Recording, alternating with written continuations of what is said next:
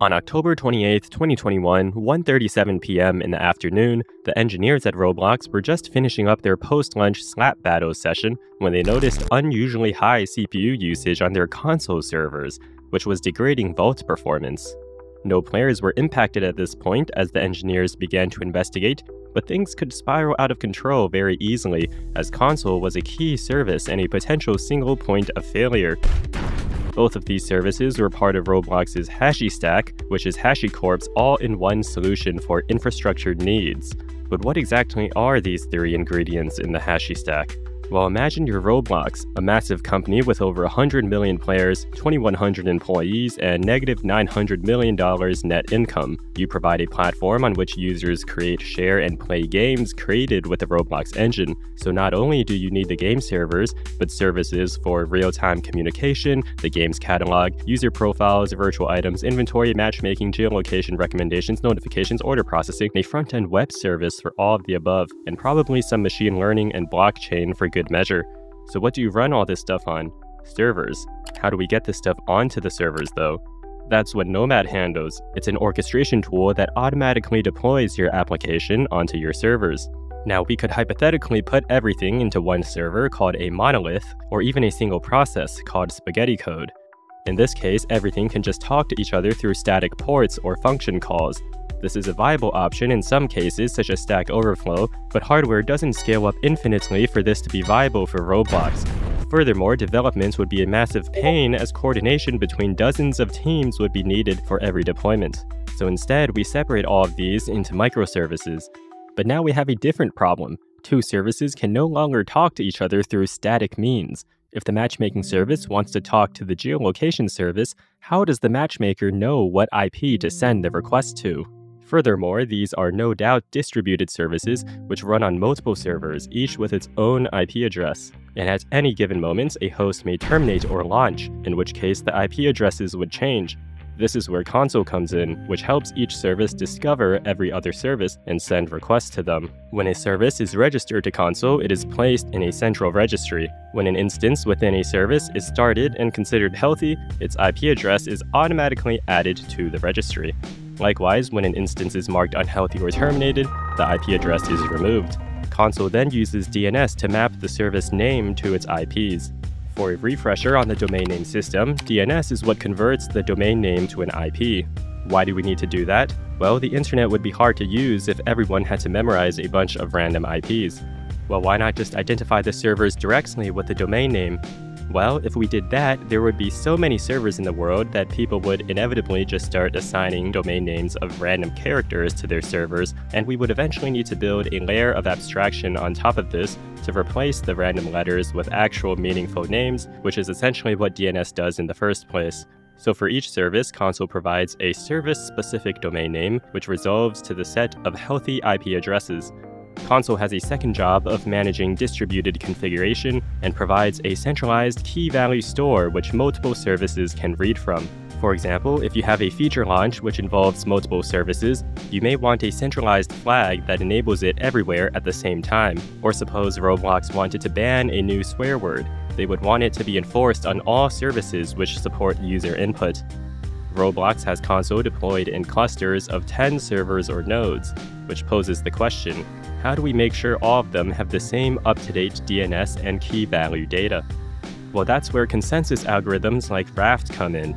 In each cluster, half are voters, who are eligible to become the leader, and half are just read replicas for extra read throughput. In Raft, all of the voter nodes vote for a leader, which is where all state changes such as writes are directed. The leader node then receives write events, such as the item to create, and appends it to a log. This entry replicates to the other nodes, which will append it to their logs and return success. After a majority of nodes respond successfully, the leader will then commit the entry and apply the change to the underlying data store, and also inform the followers to do so accordingly. Now, the last piece of the Hashi stack is Vault, which, as the name suggests, stores secrets like API keys and database credentials. So the engineers were seeing performance degradation in Vault, Nomad, and many other services, but it was all traced back to the unhealthy Consul cluster, as it was the common dependency. Many Consul nodes could not keep up with writes, meaning changes to configuration and service registries would be outdated. Furthermore, this performance degradation also caused connection issues, so not only was this universal phone book outdated, it was unreachable. They checked for recent Consul deployments, but found nothing. Then the engineers suspected some kind of hardware failure. This was not unusual at Roblox's scale, so they began to replace one of the nodes in the Consul cluster. However, even with new hardware, the performance was still bad. Three hours later, at 4.35 p.m., the number of online players dropped to 50% of normal. As long as Consul was broken, the service registry was getting more and more out of date, soon enough resulting in a complete outage. Around 5 p.m., the vast majority of active users were lost. The team then suspected that perhaps they had reached the tipping point of Consul's current hardware. Given the severity of the incident and the fact that no one was online anyways, they decided to replace all the Consul nodes with new, more powerful machines. However, by 7 p.m. after the upgrade, the Consul cluster still could not keep up with writes and had the same elevated write latency. At this point, active user account websites began reporting zero Roblox users for the first time since 2016, when the second longest outage in Roblox history occurred the next five hours would be spent deep diving into the code and banging their heads against the wall until 2 a.m. the next day, when they had a plan to restore service.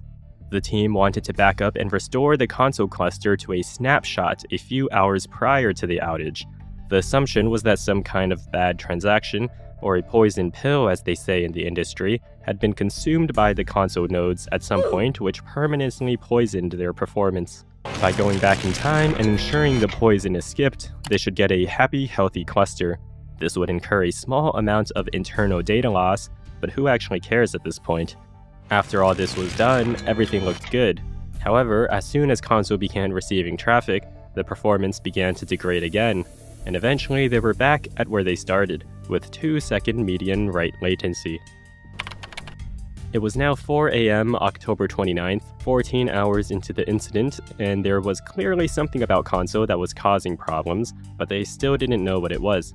The engineers still suspected that something was wrong with Roblox's usage of Consul rather than Consul itself. Perhaps it was due to the sheer volume of clients trying to reconnect to Consul, or one specific service having a really strange usage pattern that was causing issues. Therefore, to narrow down the culprit, they were going to reduce Consul usage and then systematically reintroduce it. Over the next 12 hours, they would block all external traffic, then they disabled all non-essential usage of Consul and scaled down services from hundreds of instances down to single digits. At 4 p.m., the team had finished scaling down and were ready to get the servers back online for some internal testing. After 10 hours or so of verifying performance, Consul was unhealthy again, despite having all of the services scaled down. At this point, the engineers pivoted from looking at Roblox's usage of Consul to Consul itself, something they should have probably done a while ago. Hopping onto one of the servers running Consul, the engineers profiled the application, generating a statistical breakdown of which events were consuming the most CPU cycles. Upon inspecting the report, the highest CPU usage event by a long shot was this one, which handled streaming data. This jogged their memory as several months ago they enabled a new Consul streaming feature on a subset of their services which needed data from Consul's key value store.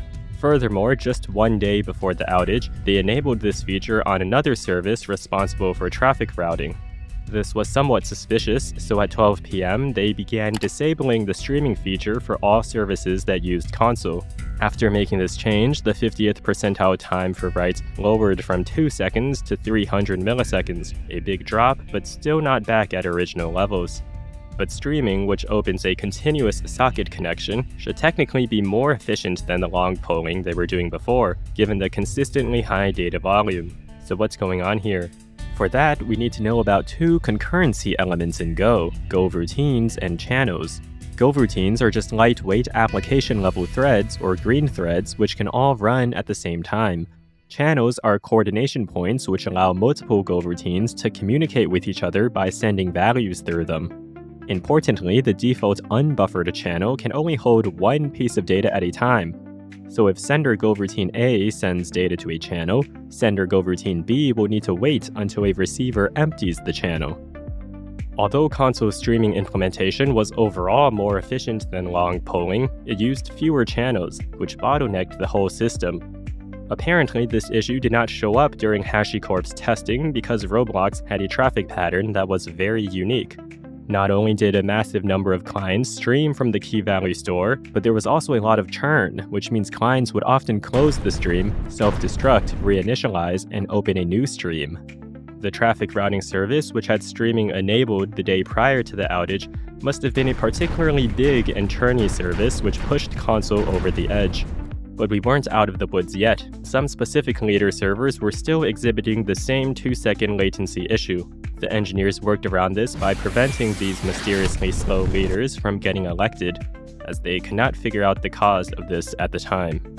Putting that issue aside, it was now 8 p.m. October 30th, 54 hours since the start of the outage. They had disabled streaming and the slow leaders, and Consul was consistently stable. The engineers only had one more problem all of their caches were in an unhealthy state, perhaps somehow made inconsistent or corrupt by the prior chaos. No problem, they could simply redeploy it, which would reset and flush everything for a clean slate. Unfortunately, the redeployment process ran into a series of three issues which required manual intervention. Working through the night, they eventually finished redeploying the cache by 5 a.m. the next morning. 61 hours since the start of the outage, they were ready to bring Roblox back.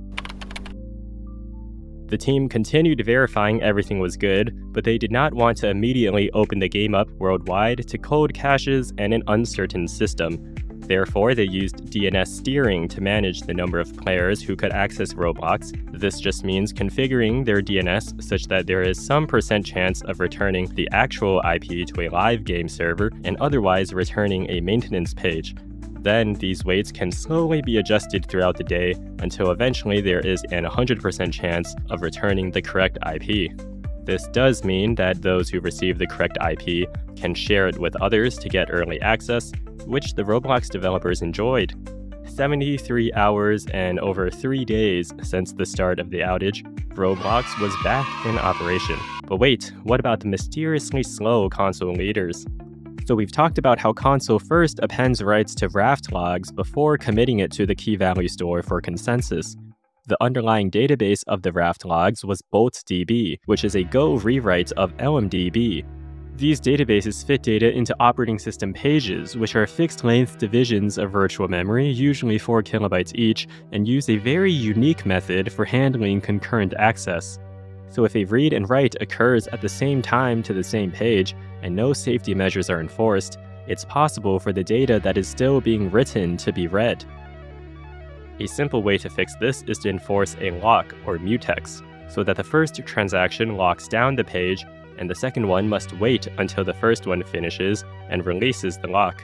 However, that could be slow, especially if you have a very high read volume that constantly locks down a bunch of pages and blocks writes. Therefore, BoltDB and LMDB use a copy on write, or more specifically, shadow paging approach to circumvent this. If a page is being read and we want to write to it, rather than writing to the in use page, we instead make a shadow copy and write to the copy, which is marked as the current database state. Then, when the copy is being read, writes will reclaim the memory space of the original and apply the changes there. If a read comes in during a write, it will simply read the page that is not currently being modified. So in this way, reads never block writes and writes never block reads. Yet, there are a few catches, but only one that matters here. What happens if there are long-lived reads? So a read starts on the current page, then a write comes in which copies it. Then a second read starts on the new page. What do we do now? Now the write has to create a third shadow copy, since both existing copies are being read from, and this can go on indefinitely, thereby creating infinite growth. Fortunately, when long-lived reads finish, pages aside from the two newest ones are considered unused and have their page IDs stored in the free list, which tracks pages that can be reused for new data. However, this still means the database only grows or remains constant in size, it will never shrink. So why does this matter? During a write transaction, changes are made in RAM, but when you commit the write, the expectation is that the changes would persist even if the computer crashes, which means syncing the data to disk. This data includes all the touched pages, as well as the free list. The OG LMDB logic stores the free list in a special database table key to each transaction, so syncing the free list to disk is identical performance-wise to syncing the rest of the data, where only modified pages are written to disk.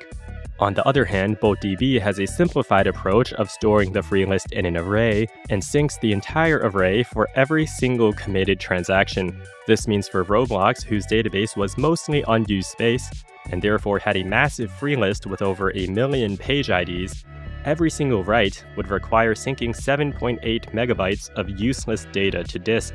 Given this wasn't an issue before, it's probable that Consul's streaming feature used more long-lived reads than polling, which quickly grew the free list to a size that started impacting performance. The short-term fix was to compact the database, which basically means writing all the existing data into a new database environment with no readers and therefore no shadow copying, and tossing the old bloated files. Long term, they upgraded from BoltDB to bbolt, which was a better implementation that offered improved reliability and stability.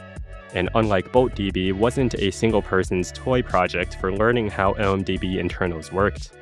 Other future steps of note include the absolutely radical idea of expanding into multiple availability zones, so a single Consul cluster failing doesn't take down the entire world,